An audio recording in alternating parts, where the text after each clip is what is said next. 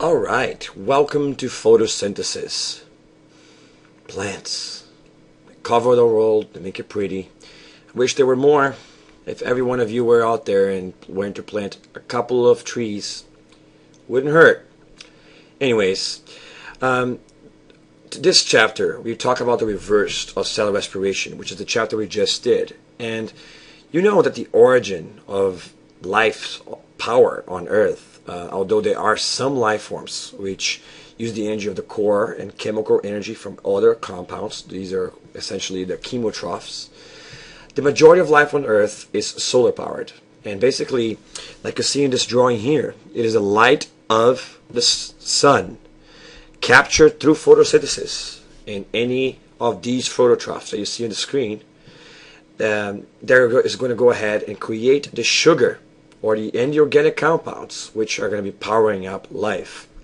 So, phototrophs like the the plant that you see here on the top left, the algae like the Sirgallina algae that has flagella and cilia all over the place, uh, the green algae, or cyanobacteria even, which is not featured here in this drawing. All of these phototrophs are performing this endergonic, anabolic, endothermic reaction that builds glucose at the expense of the energy of the sun. And then this glucose will then go on to be consumed um, to create energy through cellular respiration. And this is something that either the phototrophs or the heterotrophs will do. And in fact, a lot of people get confused and think that plants don't breathe, uh, don't do cellular respiration all life forms are pretty much uh, glycolysis based. They all basically catabolize glucose to get the exothermic and exergonic reaction, the energy to power up the anabolic process of life, like we discussed in cellular respiration.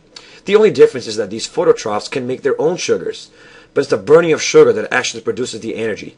All right, and think about it. Um, for a plant, for example, um, only the cell part that the mesophyll cells, which are in the plant, leaf actually can do photosynthesis. The rest of the plant needs the sugar, just like you and me, and even the mesophylls themselves, uh, cells themselves, also need the sugar during the night to produce uh, energy. So if you don't make sugar, plants will die, and plants breathe and do cell respiration just like you and me. They consume oxygen, they consume glucose to make energy. So that's a very important point before we start. And in this opening here, you also see a photocell. Um, uh, basically a device that is used by humans to, to collect power from the sun for elect electricity. And I put it here because it's definitely has a very close relationship to what's happening inside the chloroplast. The chloroplast is like this photovoltaic cell. Uh, remember when we talked about cell respiration, we talked about the fact that the majority of human engines are actually less efficient than the cell respiration process is because burning is very disorganized while the the systematic um, oxidation reduction reactions and transfer of electrons of cell respiration slowly but surely capture the majority of the possible energy for the glucose, which stores about 38% of the energy of glucose is actually released and used for anabolic reactions. Now, when it comes to photosynthesis, uh, plants and algae are not that efficient, all right? Only about 23% to 25% of the energy that actually hits the cell is actually converted into el electrical chemical power. Um, this is not so much a problem in um, transferring the energy, it's more of a problem of capturing that energy. Now, human photocells are actually slightly better and they can capture a little more energy than that. So that's once that we've gotten actually improved on life systems. Um, but anyways, this is photosynthesis. Now, clearly, there's a very close relationship between photosynthesis and cell respiration. Uh, the chloroplasts are consuming glucose uh, sorry, are making glucose and oxygen at the expense of water and carbon dioxide, which are in turn produced by the mitochondria when it burns the glucose in the presence of the oxygen. So you can see that one depends on the other, but that the overall result is that the light energy of the sun, the kinetic energy of the sun, gets transferred through this cycle through chemical energy that's actually used for powering up anabolic processes. But remembering that this energy is basically originally from the sun, and it's on the phototrophs that that's going to be happening. I also put on the screen here the carbon cycle to remind you that um, of the function of plants and animals in this carbon cycle. That animals are putting carbon dioxide into the atmosphere and putting oxygen out of the atmosphere, and then that plants do both. Look at that. Plants do cell respiration and photosynthesis. All right, and in fact, uh, another part of the carbon uh, cycle is um, decomposition, which has nothing to do with any of these processes, but and we're going to talk about that later in the year. But decomposition is also going to put carbon dioxide in the atmosphere. But there's a very close relationship here between the heterotrophs and phototrophs in the sense of mitochondria versus chloroplasts. Now remember that even the plants act like heterotrophs in the sense that they do need to burn sugar. Uh, the only difference is that they will go ahead and make their own sugar, which is why they're called autotrophs. And the special type of autotrophs that use light in this case are phototrophs. All right. Now, photosynthesis is actually the exact opposite of cell respiration. So you're going to get six carbon dioxides, combine them with water to make sugar and oxygen. So exactly the opposite. If you were to go this way, you would basically be doing cell respiration. Now notice that there's a something funky here. Uh, you actually need 12 molecules of water to, to, to build each glucose molecule, but during the process you actually end up making six molecules of water back. So that if you do the math here, it's technically you, all you're doing is, you, is you're consuming six waters overall. So in a way, it looks just like cell respiration does, 666 in one glucose. All right. But um, we're going to be talking about where this water is consumed and produced later in the lecture. All right. Now, the like cell respiration, glucose involves the carrying of electrons. So you're going to have electron carriers like ATP, and also another special electron carrier um, on photosynthesis called the NAD-P. So it's a, it's, a, it's a cousin of the NAD that is used during uh, cell respiration, but this one is NAD-P, P as in photosynthesis because it has an extra phosphate group. But it's an easy way to remember because it's got a P for photosynthesis there. And when it becomes charged, it goes ahead and adds a hydrogen that just like the NAD does. So both of these electron carriers here will be important for or a process. And to learn more about ATP, please refer back to the, the cell metabolism and bioenergetics lectures, as well as the cell respiration lecture, where I talk about ATP in a little more detail. But remember that the cell can actually only use ATP, but throughout the process of photosynthesis, the cell will have to produce both these electron carriers and then consume them subsequently in later processes of photosynthesis. So this is all very important. Remember, these are the electron carriers during the photosynthesis process.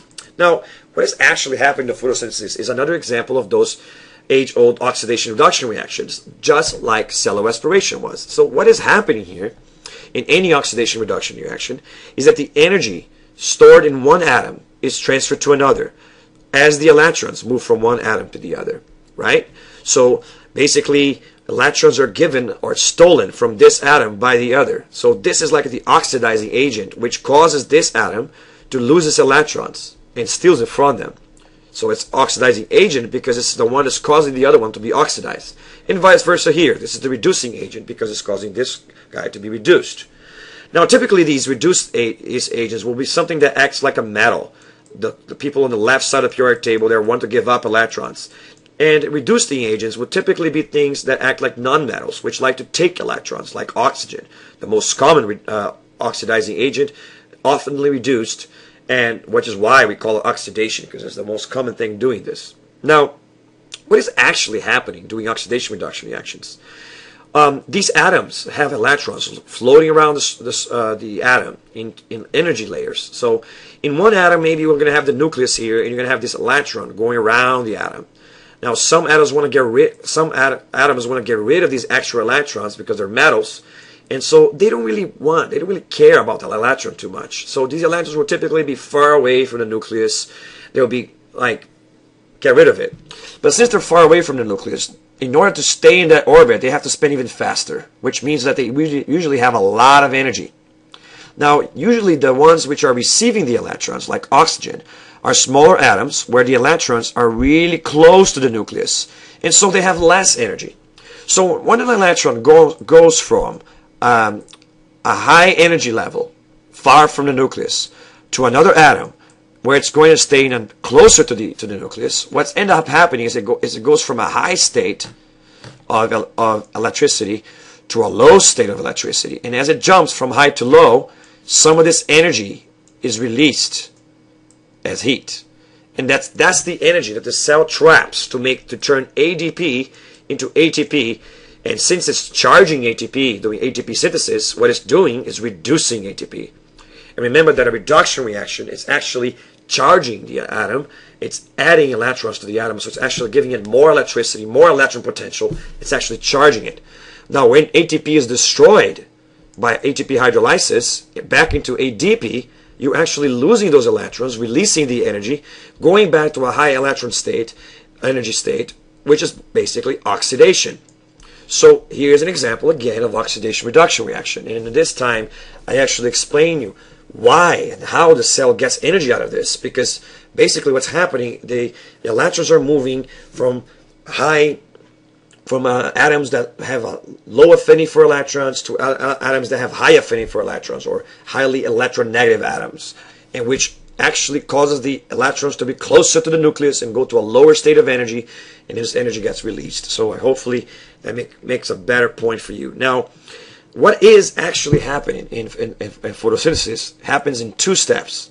Okay, you have the light reaction and what's called the light independent reaction. So you have two little things. Now, in the light reaction, it's going to involve two photosystems, photosystems 2 and 1, as well as electron transfer chains.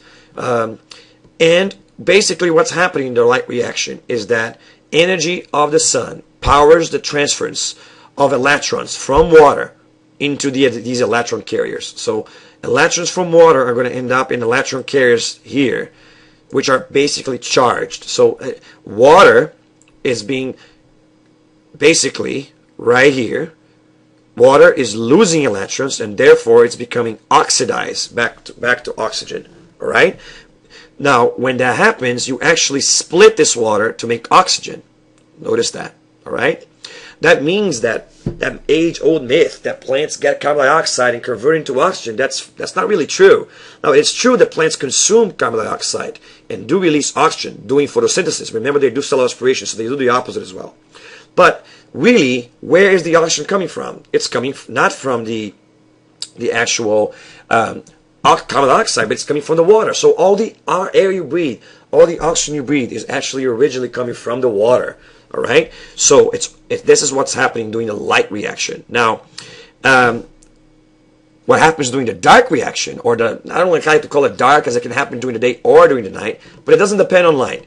The energy that was stored these electron carriers is used to power a machine called the Calvin cycle after the science that was discovered it, or the carbon fixation cycle, where carbon is fixated or trapped from the air into macromolecules such as sugar.